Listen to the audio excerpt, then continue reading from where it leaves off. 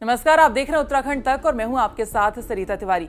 बरसात के इस मौसम में इस प्रकार के नज़ारे आम बात है, लेकिन ये जो तस्वीरें इस वक्त आप देख रहे हैं, ये ना कोई बरसाती गधेरा है और ना ही किसी के घर का गंदा नाला है, बल्कि ये है बस अड्डा, तूना, बोंठा, मोटर मार्ग।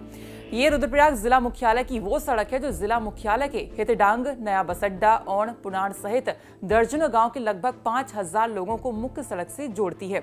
देखने से तो एक आम रास्ता नज़र आता है, लेकिन ये रुद्रप्रयाग ज़िले की वो बदहाल सड़क है जिस पर हज़ारों लोग जनप्रतिनिधि और कई अधिकारियों का आना जाना लगा रहता है। फिर भी सड़क की बदहाली पर कोई भी ध्यान नहीं दे रहा है। इन तस्वीरों को देखकर लगता है कि सड़क पर सड़क कम गड्ढे ज़्यादा है। जिला मुख्यालय की इस बदहाल सड़क का ये हाल नए बस अड्डे तक है।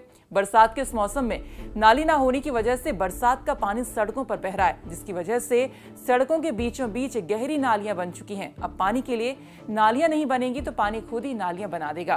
प्रशासन की इस लापरवाही का नतीजा सड़क से गुजरने वाले लोगों को भुगतना पड़ता है। इस बदहाल सड़क पर सफ़र करना आसान नहीं है, लेकिन मजबूरी में लोगों को इस सड़क पर चलना पड़ रहा है। इस पूरे मामले में जब रुद्रप्रयाग के विधायक से बात की गई तो उन्होंने क्या कुछ कहा? आइए आपको सुनाते हैं। बहुत सारी सड़कें हैं, चुनाव मोटा के अलावा भी।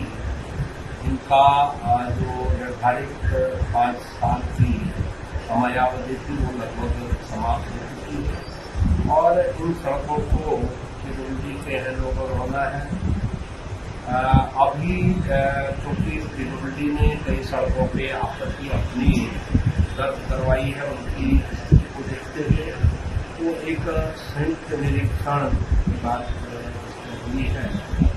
और दोनों विभागों के स्तर पे जो भी कमी या बेसी उसमें पाई जाएगी, वो जो मूल विभाग है, उसके द्वारा उससे काम करने की कार्रवाई होगी और उसके बाद जो